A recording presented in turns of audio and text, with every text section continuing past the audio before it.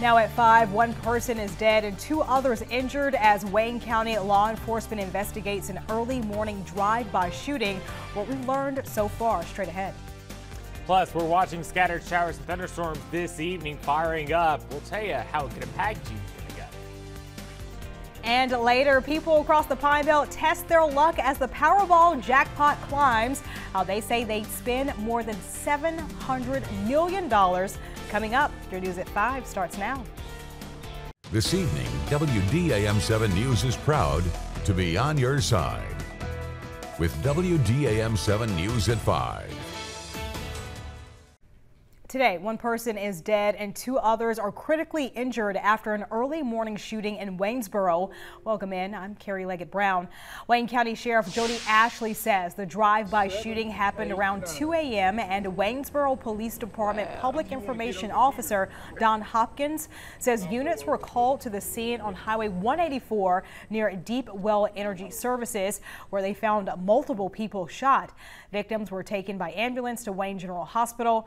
Hopkins says one person was pronounced dead when they got to the hospital and two are in critical condition. We're on your side tonight gathering more information on the shooting and we'll have more in our later newscasts.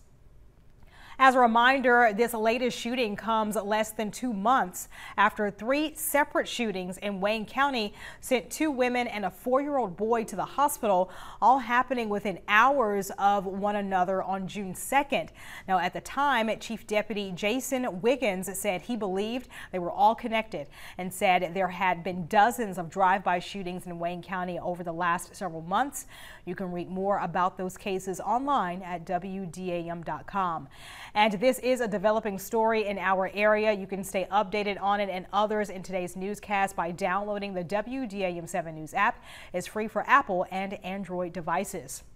Turning now to weather, Patrick, the afternoon showers are settling in, especially here at the TV station. What is the rest of the Pine Belt experiencing? Yeah, we're seeing a lot of showers starting to develop this evening. We saw a nice little shower just pass over to TV station. More showers developing out towards Waynesboro, Laurel, and Columbia. In fact, let's go to Waynesboro right now. Look at the ominous shelf cloud. Again, Waynesboro, you got the shelf cloud. Uh, you had one yesterday, you got another one again today, and it looks very ominous and scary, but this is just a normal thunderstorm that's sitting on top of you. Compare that shot to the shot that we got out at the campus of USM, where they're currently into the upper 80 sunshine uh, out there. Not too bad right now, but here's a live look. Southern Pine Electric Radar will zoom in on those showers and thunderstorms, and we'll put them into motion for you. As you can see, the heaviest stuff is just to the north of Waynesboro. This is slowly drifting off towards the east. We got new development back towards the west across portions of Jones and Lamar County. We'll take a full look at that forecast in just a few minutes. Ukrainian President Vladimir Zelensky leaves the NATO summit in Lithuania without an invitation to join the alliance. Still, President Zelensky is calling the two-day summit a victory for his country and directly thanking the American people.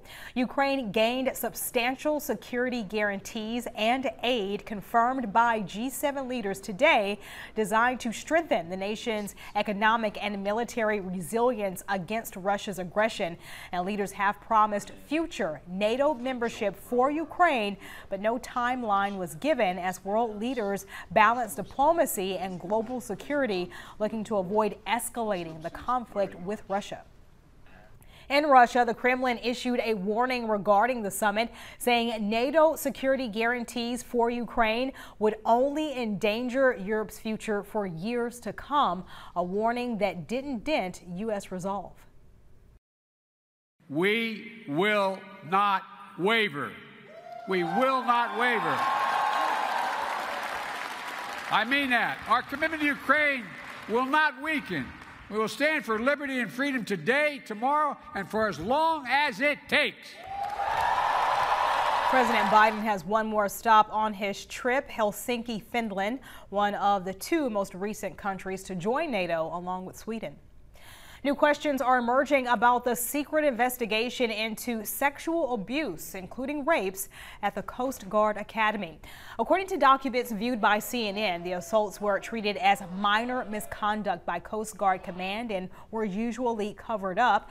According to the investigation, also the investigation dubbed Fouled Anchor ran from uh, 2014 to 2019, but only reviewed sexual assaults from 1990 to 2006.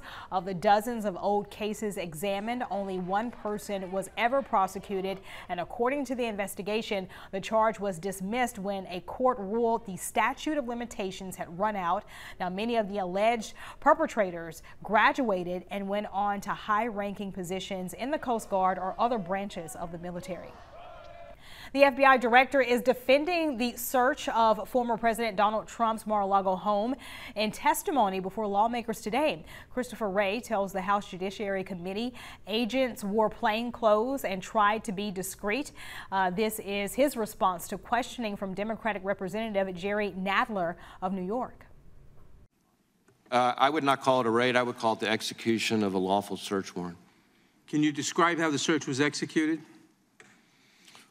Well, we had the case team, uh, you know, follow its standard procedure. It has sometimes been described as a SWAT uh, operation. It was not. There was no SWAT involvement. Wray is denouncing allegations investigators orchestrated the search for political reasons or wanted it to make Trump look bad.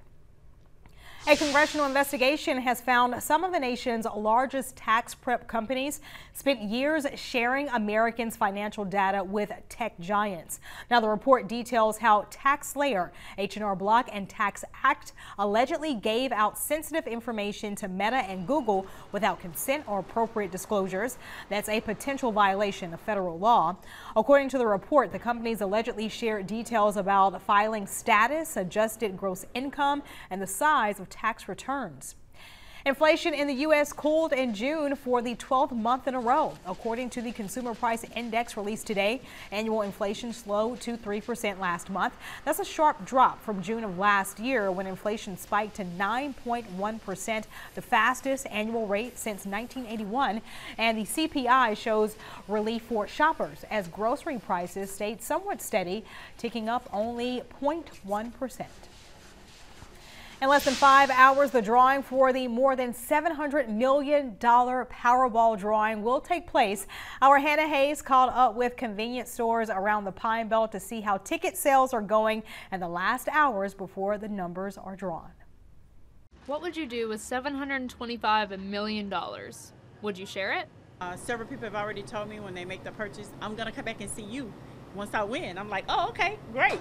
Some people have been telling us they'll share a cut of it and all that, but it's it's just fun, funny stuff and messing around, joking. Ticket sales have soared today across the Pine Belt. Local cashiers say that even if they do not buy tickets for themselves, it makes them happy to see people are trying to win a fortune. Uh, it makes me feel really good because uh, I know it's probably helping uh, the Mississippi numbers out in regards to them buying. Uh, I'm not a big buyer myself, but my brother and a lot of more the family in other states are. So they'll always have me to pick up them some um, and get them to them. So I'm excited. This Powerball drawing is the seventh largest, making Mississippi residents anxious for tonight's drawing. People from surrounding states have also come to the Pine Belt to buy tickets, hoping to increase their chances of receiving the lucky numbers. I'm a people person, so it gives me the opportunity to, to talk to people, meet people coming in from uh, other states passing through.